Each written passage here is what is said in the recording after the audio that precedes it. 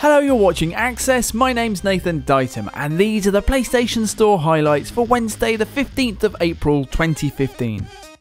This week kicks and punches, freezes, and decapitates off with the grizzled veteran of fighting games, Mortal Kombat X. In terms of fighting, this new 10th major installment of the gleeful circus of dismemberment keeps the recently introduced energy meter and environmental interactivity, and of course, doubles down on the series' trademark fatalities, because whose day wouldn't be made better by a bit of this? Mortal Kombat X is available right now on PS3 and PS4. Speaking of making your day better, another way to do just that is to pick up unique indie title Titan Souls. In what's been described as a mix of Dark Souls and Shadow of the Colossus, Titan Souls is based around a series of battles with huge bosses which you must defeat using your single arrow and loads of jumping out of the way. Throw in gorgeous pixel graphics and evocative environments, and you have something you should play very soon. Titan Souls is available on PS4 and PS Vita now. Speaking of beautifully put together pixel games out right now on PS4 and PS Vita is Home, a horror adventure about exploring an unfamiliar house with just a flickering light to guide you and which adapts and changes as you play.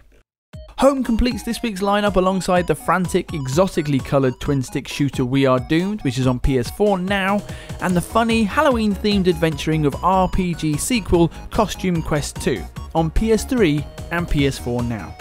As ever, there are tons of bargains to be had on the store. Deal of the week is Open World Zombie Nightmare Dying Light on PS4, which offers a huge playground city to free run around, as well as a range of weapons with which to decimate the undead. There's up to 50% off selected other Warner Brothers games too, including Injustice Gods Among Us on PS4 and PS3, The Incredible Batman Arkham Asylum, City and Origins on PS3, as well as Lego Marvel Superheroes on PlayStation Vita. And lastly, digital discounts returns, offering deals on downloadable titles like PS4's White Knight, PS3's Terraria, and PS Vita's Nihilumbra.